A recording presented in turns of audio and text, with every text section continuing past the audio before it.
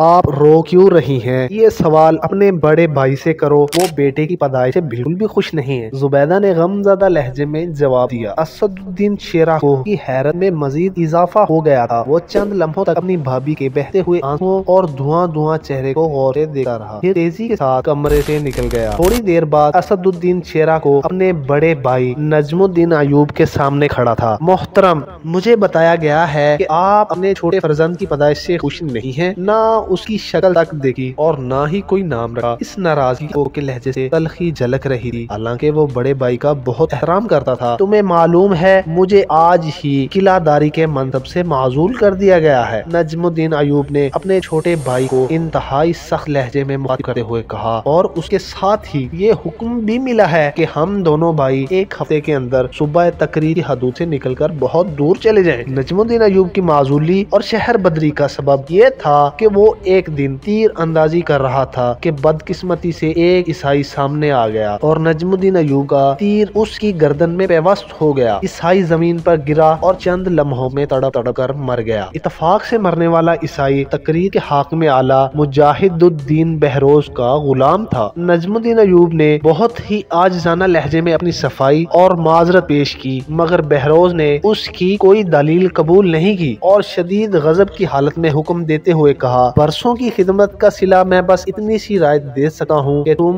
दोनों भाई हमेशा के लिए अपने नापसंदीदा चेहरे मेरी नज़रों के सामने से गुम कर दो। असदुद्दीन शेरा को ने बड़ी अजियत करब के साथ हाकमे आला मुजाहिदीन बहरोज का हुक्म सुना और फिर उदास लहजे में कहने लगा, बरदर मुआजम ये सब नविश्ता तकदीर है। कभी तख्ते शाही और कभी तख्ते मर्ग। बस दुनिया का निज़ाम तो यही है। जब मेरा बड़ा बेटा तुरान शाह पैदा हुआ तो मैं एक सपाही के ओहदे से तरक्की पाकर तकरीर का किलेदार बन गया। नजमुद्दीन अयूब ने हुए, उसे अपने आशा पर जरा भी काबू ना रहा और आज जब ये मनहूस दुनिया में आया है तो बहसरत और याद तकरीर छोड़कर किसी खाना बदोश की तरह एक नामालूम मंजिल की तरफ़ जा रहा हम अहले इमा है। हमारे मज़हब के मुताबिक ना कोई सात मनहूस होती है और ना ही मुबारक। ये सब अल्लाह का निज़ाम है और अपने निज़ाम को वही बेहतर असदुद्दीन तेरा कोह ने बड़े भाई का गुस्सा, बड़े भाई का गुस्सा ठंडा करने के लिए इंतहाई नरम लहजा करते हुए कहा। मत समझाओ मुझे कि मनहूस क्या होता है और मुबारक इसे कहते हैं। नजमुद्दीन की आवाज़ कुछ और बुलंद हो गई। बड़े भाई की तरफ़ से गैजो गजब के इस मुजाहरे पर असदुद्दीन शेरा को भी खामोश ना रहेगा माफ़ ईसाई गुलाम का कत्ल आपके हाथों से हुआ है। फिर इस मासूम बच्चे को ये सजा क्यों दी जा रही है? नजमुद्दीन अयूब अपनी माजूली से इस कदर बदहवास हो गया था कि उसने छोटे भाई को भी बुरी तरह मजबूरन असदुद्दीन शेरा को वापस चला गया। फिर वो अपनी भाभी के कमरे में दाखिल हुआ। बड़ी सरशारी के आलम में भतीजे को प्यार किया और उसके कान में आजान दी और वालहाना अंदाज में कहने लगा, ये मेरा यूसुफ है। बच्चे के चेहरे पर एक अजीब सा नूर था। बड़ी कशिश थी, इसलिए असद असदुद्दीन शेरा को ने भतीजे को यूसुफ का मुबारक नाम दिया। फिर उसी बच्चे यूसुफ ने सलाहुद्दीन अयूबी के नाम से शोहरत दवाम हासिल की। ये अयूबी खानदान पर बड़ा ही गिरा वक्त था कि कई सालों की शदीद मेहनत और जाफिशानी के बाद नजमुद्दीन किलादारी के मनसब तक पहुँचा था और फिर चंद घंटों में उससे सब कुछ छिन गया। नजमुद्दीन अयूब का इकतदार उस मकान की तरह था जिसे जरे कसीर खर्च करने के बाद तामीर किया गया हो और जल्जले के एक झटके ने उसे ज़मीन बोस कर दिया हो। वक्त तेज़ी से गुजरता जा रहा था और तकरीर के हक में आला मुजाहिदुद्दीन बहरोज के हुक्म की तामील में सिर्फ़ और सिर्फ़ एक दिन रह गया था। दोनों भाई नजमुद्दीन अयूब और असदुद्दीन शेरा को एक कमरे में बैठे गौर कर रहे थे कि उनका ये खाना बदोश खानदान अब इस इलाके का रुख करे कि जहाँ उसे पनाह मिल जाए। बजाहिर कोई जा ईमान नज़र नहीं आ रही थी। दूर तक खुला आसमान था। और मायूसियों का गहरा अंधेरा। यकायक उस तारीखी में रोशनी की एक लकीर नमूदार हुई और नजमुद्दीन अयूब मुस्तरिब होकर खड़ा हो गया और कहने लगा, काश ऐसा हो जाए कि काश ऐसा हो जाए। नजमुद्दीन अयूब शदीद बेचैनी के आलम में बार बार अपना एक हाथ दूसरे हाथ पर मार रहा था और उसकी जबान से बस यही मखसूस अल्फाज अदा हो रहे थे, काश ऐसा हो जाए। बड़े भाई की ये तरह कैफियत देकर असदुद्दीन शेरा को कोह भी खड़ा हो गया और पूछने लगा, क्या हुआ? क्या हुआ? छोटे भाई की बात सुनकर नजमुद्दीन अयूब के सामने छह साल पुराना एक वाकया अपने पूरे खतो खाल के साथ उभर आया। ये 526 हिजरी का जमाना था और बगदाद पर अब्बासी खलीफा मुस्तरशद बिल्ला की हुकूमत इसी दौरान जंगी हुकूमत के बानी अमादुद्दीन ने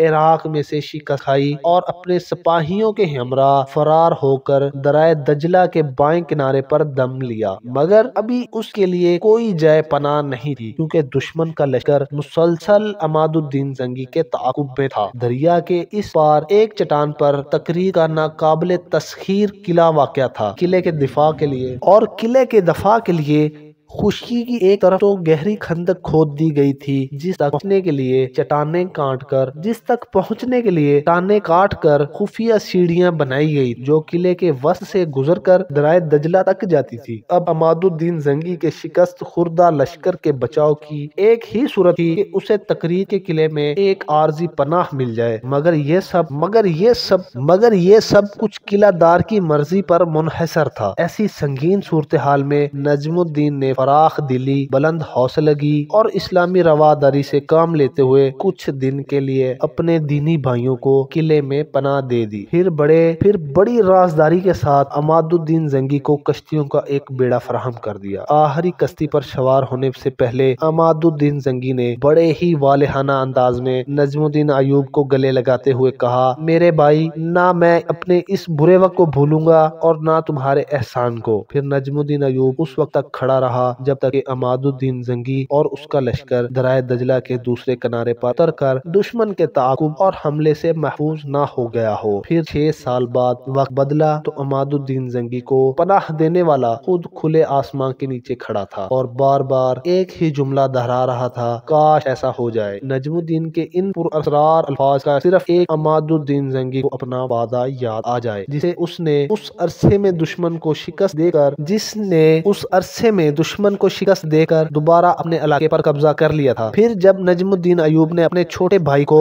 अमादुद्दीन जंगी की रुखसत का आखिरी मंजर पूरी तफसील के साथ सुनाया तो असदुद्दीन शेरा को छोटे भाई को अमादुद्दीन जंगी की रुखसत का आखिरी मंजर पूरी तफसील के साथ सुनाया तो असदुद्दीन शेरा को बेसाख्ता बोल उठा। आजमाइश इस घड़ी में सुल्तान के जरफ को ज़रूर आजमाया जाए। डरता हूँ कि कहीं डरता हूँ कि कहीं वहाँ से भी नाकामो ना मुराद लौटा दिया जाऊँ, नजमुद्दीन अयूब ने उदास लहजे में कहा। ऐशो इकदार बहुत बड़ा है। जब इंसान उसे हासिल कर लेता है तो अपने बुरे दिनों को इस तरह भूल जाता है, जैसे उस पर कभी कोई मुसीबत की घड़ी गुजरी ही ना हो। आखिर हमारे पास इसके सिवा चारा भी क्या है? असदुद्दीन शेराको ने एक एक लफ्ज पर ज़ोर देकर कहा, हम एक बार सुल्तान अमादुद्दीन जंगी के महल पर दस्तक ज़रूर देनी चाहिए। अगर वो दरवाज़ा खुल जाए तो हम समझेंगे कि वो एक एहसान शनास इंसान है, वरना अल्लाह की ज़मीन तंग नहीं है और वो बड़ा पनाह देने वाला है। असदुद्दीन शेरा को बड़ा, असदुद्दीन शेरा को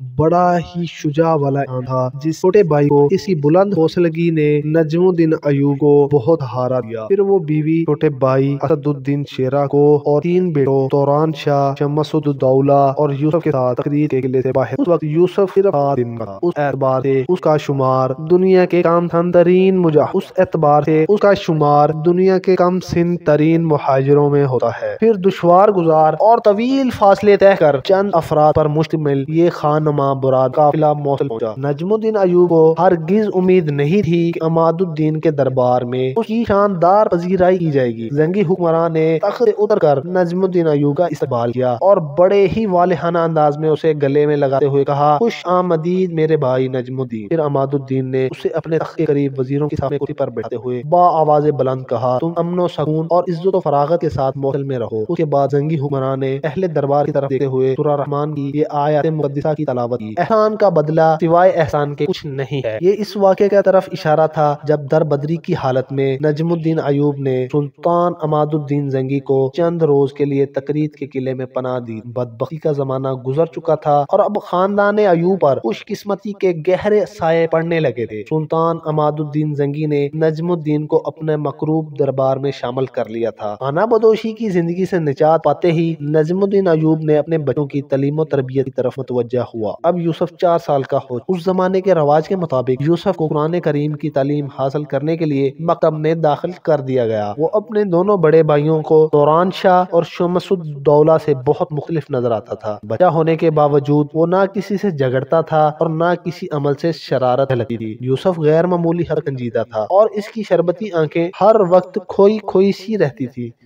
जिसे वो किसी गहरी सोच में गुम हो। उत्साजा इसकी बहुत तारीफें करते थे। यूसुफ का हाफिजा बहुत कवि था। सरसरी बातों को भी जहन में महफूज रखा। जुबैदा अपने छोटे बेटे से बहुत मोहब्बत करती थी, मगर जब मौसल आकर उसके यहाँ चौथे लड़के की पैदाइश हुई तो फितरी तौर पर मांग की मोहब्बत हो वक्त तेज़ी से गुजर रहा था। अब यूसुफ की उम्र सात साल थी। एक अजीब वाक्य पेश आया। सुल्तान अमादुद्दीन जंगी का दरबार आ रहा था। इतफाक से उस रोज यूसुफ भी अपने बाप के साथ दरबार दरबार में मौजूद था। मोसल में रहने वाले एक बूढ़ा ईसाई राहब मर ज़ुबान दरबार में दाखिल हुआ। सुल्तान अमादुद्दीन जंगी की गर्म जोशी के साथ ईसाई राहब का इकबाल। असलम मेरा नाम है मोहम्मद हसीब और आप देख रहे हैं सलाहुद्दीन अयूबी सीरीज़ की एपिसोड नंबर चार। जल्द ही नई एपिसोड के साथ दोबारा मुलाकात होगी। इजाज़त दीजिए, अल्लाह हाफिज। असलम मेरा नाम है मोहम्मद हसीब और आप देख रहे हैं हमारा YouTube channel. Salahuddin Ayyubi series की एपिसोड नंबर चार, यहीं पर अख्ताम इनाम पजीर होती है। जिन भाइयों ने हमारी एपिसोड थ्री